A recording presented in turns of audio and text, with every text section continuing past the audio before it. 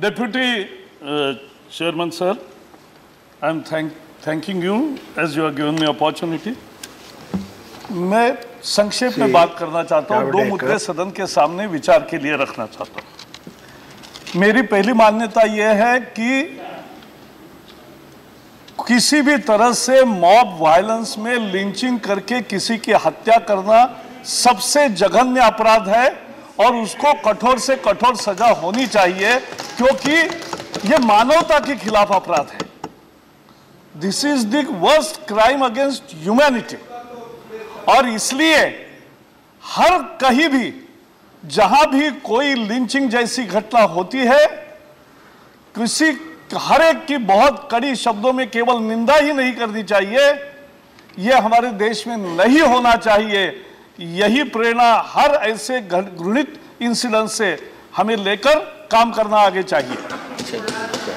मैं, लेकिन लेकिन इसके साथ साथ सिलेक्टिव एमनेशिया के भी हम शिकार नहीं होना चाहिए। क्योंकि इतिहास इतिहास है। 1984 में सर, इसी दिल्ली में, संसद के परिसर में घरों घरों में आग लगाकर सिखों को ज़िंदा जलाया गया, वो भी अपराध ही भयंकर था टायर लाद के उनको जलाया गया, वो अपराध था। जगह जगह जाके उनको लिंचिंग, यानी पत्थर से मारा। तीन हज़ार सिखों से ज़्यादा, तीन हज़ार से ज़्यादा सिखों का कत्ले आम किया, लिंचिंग किया यह भारतवर्ष का सबसे घृणित लिंचिंग कांड है। आ रहा हूँ, आ रहा हूँ, आ रहा हूँ, आ रहा हूँ ना, पाँच मिनट ले रहा हूँ, पाँच मिनट की आपकी सहनशीलता है। मैं आ रहा हूँ ना, मैं आ रहा हूँ, आज तक भी आ रहा हूँ, आज तक भी आ रहा हूँ, लेकिन सुनना तो पड़ेगा भाई, लोकतंत्र है। दूसरा, सर, गोधरा में अयोध्या से वापस आ रहे राम भक्तों पर पूरा हज़ारों के मॉब ने वहाँ केरोसिन डाल के और पूरा जला के बयालीस लोगों को पैसेंजर्स को मार दिया। ये इससे ज़्यादा घृणित लिंचिंग कभी नहीं हुआ है। कैसे भूलेंगे? लेकिन आज भी कहीं एक भी लिंचिंग होता है तो वो भी उतना ही घृणित है और उसकी भी हम भर्सना करते हैं। मैं बता रहा हूँ, एक मिनट। अरे भाई, मैं बता रहा हूँ, आज भी कोई भी कहीं इंसिडेंस ऐसा होता है तो उसकी भी हम भर्सना करते हैं। लेकिन मेरे में, मैं इतिहास को, मैं इतिहास को देखता हूँ तो मुझे सिलेक्टिव एमनेशिया नहीं होता। जहाँ भी लिंचिंग हुआ, उसकी मैं भर्सना करता हूँ।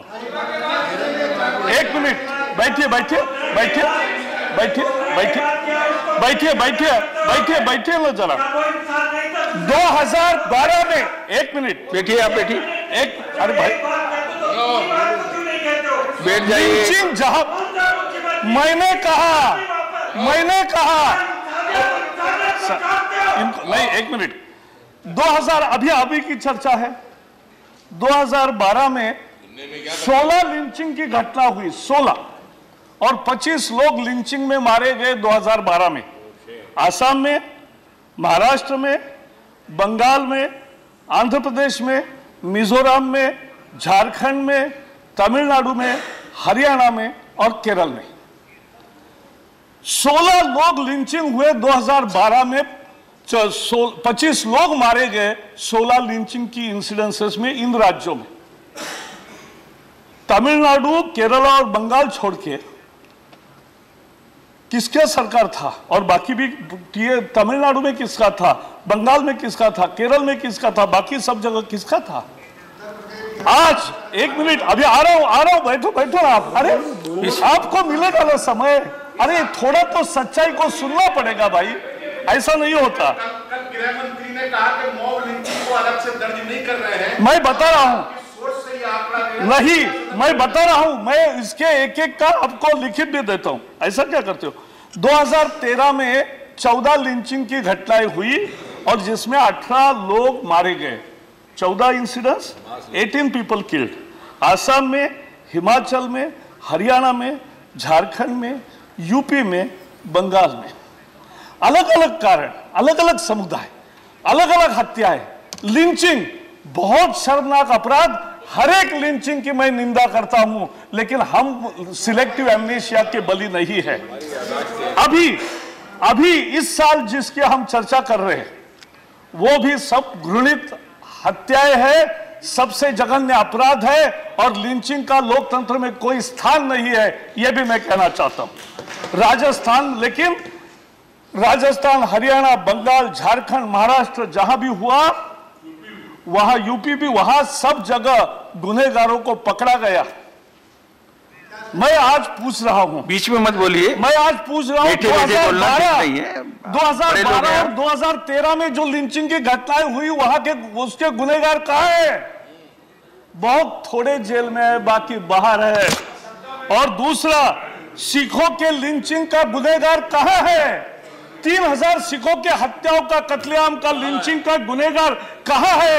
जेलों के पीछे नहीं है फांसी के फंदे पर नहीं लगते हैं। सुखो। और इसलिए बैठे बैठे सुनो सुनो। ऐसा नहीं आपको सुनना पड़ेगा भाई। आपको सुनना पड़ेगा जी बैठिए मिस्त्री जी। सच्चाई कड़वी हो सकती है लेकिन सच्चाई आपकी टर्न नहीं आप बैठ जाइए।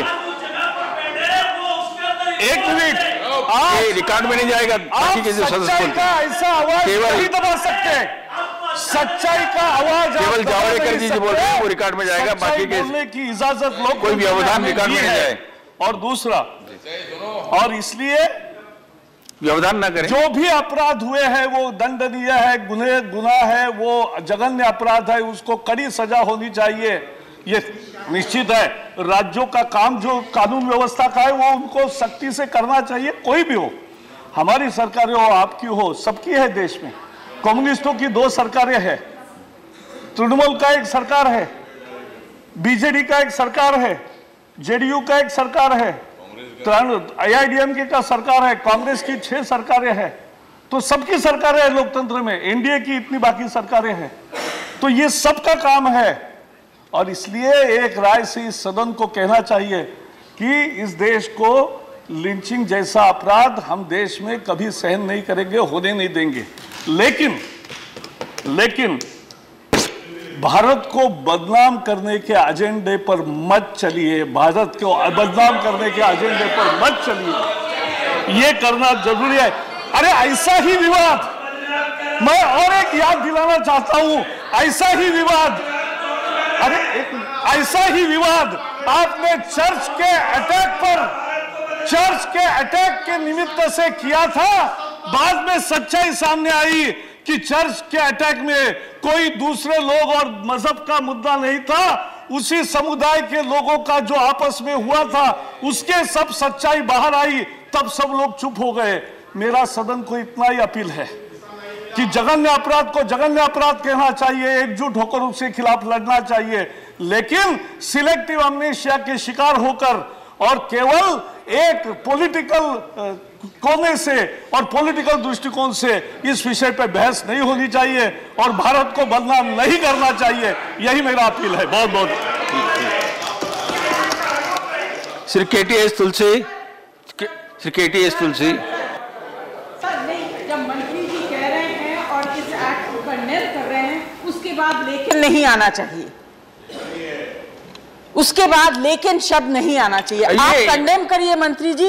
वी अप्रिशिएट बट बोलने का तरीका है। आप अलग से समझा दीजिए। लेकिन सर कानून लाइए लेकिन का मतलब क्या हुआ? लेकिन means you are not act Tulsi के टी एस तुलसी प्लीज़ आप माननीय चेयरपर्सन साहब मुझे घोर आपत्ति कोई हमारा रूलिंग पार्टी से ये शब्द, इससे कठोर शब्द भी कहता तो हम लोगों को जो विपक्ष में यहाँ सब नेता बैठे हैं, और हमें इतनी तकलीफ़ नहीं होती। लेकिन इस देश का शिक्षा मंत्री, अगर उनकी ऐसी सोच है, इनकी अगर ऐसी सोच है तो हम अंदाज़ा लगा सकते हैं कि इस देश में कैसी शिक्षा दी जाएगी और दी जा रही है। यह बहुत बड़ा प्रश्न चिन्ह है देश के सामने। हमने कभी कल ही बताया था कि इसमें धर्म की बात नहीं। कुछ लोग, लेकिन जिस तरह से सिलेक्टिवली इन्होंने बातें बताई, फिर मुझे भी बताना पड़ेगा कि जितनी सरकारों में जो भी दंगे हुए उसमें आपके परिवार ही पाए गए हैं। कोई नहीं पाया गया, चाहे किसी की सरकार हो, किसी की भी सरकार हो। लेकिन वही लोग पाए आपके परिवार का कोई ना कोई इस आदमी था जिसने दंगे शुरू करवाए। चाहे कांग्रेस की थी बीजेडी की थी, किसी की भी हिंदुस्तान से, कश्मीर से कन्याकुमारी तक। हमने उस आदर पर नहीं लेना चाहते और हमें कहेंगे भारत को बदनाम करेंगे।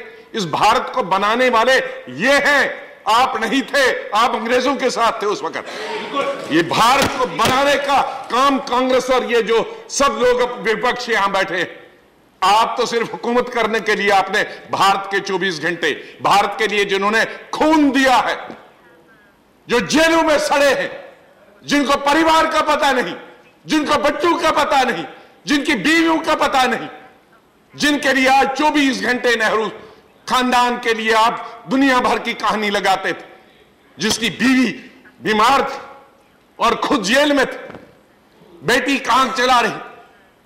और आज हमें आप भारत कहते हैं। भारत का बनाने का ठेका आपने लिया। भारत को जिन्होंने ने बनाया है हम मैं निवेदन करूँगा आप विपक्ष कि जो माननीय शिक्षा मंत्री ने किया हम वॉकआउट करते हैं इनके इस स्पीच पर। हम लोग की जो है इस बात से बिल्कुल भी सहमत नहीं है जिस तरह के माध्यम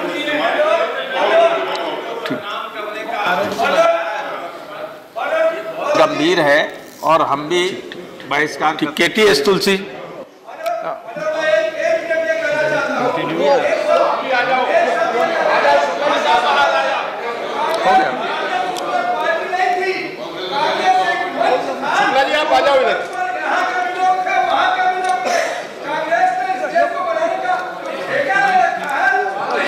तुलसी जी, बोलिए आपका।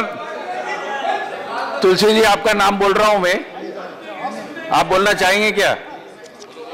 बोलिए।